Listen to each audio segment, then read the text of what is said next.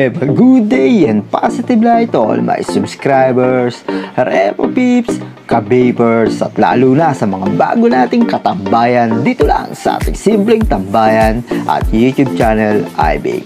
Happy 2K subscribers at maraming maraming salamat sa inyo.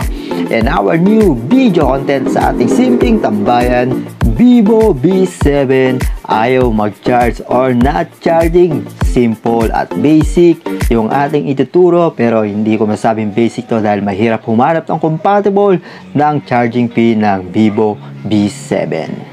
And now our first step ng ating video tutorial, 100% check before this assembly, remove yung SIM card tray, then yung back cover.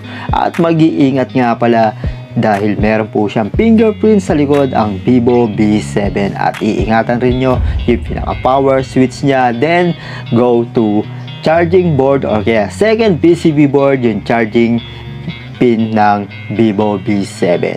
And our second step ng ating video tutorial, once na na-remove na ninyo yung plastic cover doon sa second board or kaya charging board ng Vivo B7, proceed na lang po kayo sa charging pin.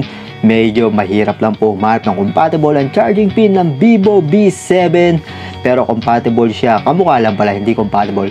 Same lang din siya at kamukha ng Samsung but 7 pins ang paa ng Samsung charging pin kaysa sa Vivo B7 is 5 pins lang kaya pwede kayong gumamit ng mga local brand or kaya yung mga common Android charging pin para ilagay at ipalit sa mismong charging pin ng Vivo B7 And our last step, yung pinali ng ating video tutorial, bibigay ko sa inyo ng helping tips.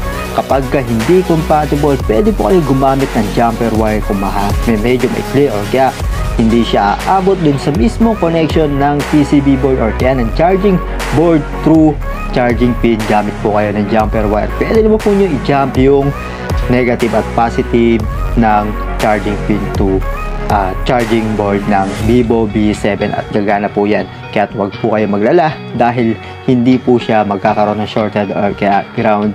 Kaya wala kayong dapat na itatakot dyan at dapat uh, patuloy supportahan yung ating YouTube channel. Please keep supporting, subscribe, like, and share. Siyempre, don't skip the ads at maraming maraming salamat sa lahat ng mga subscribers natin.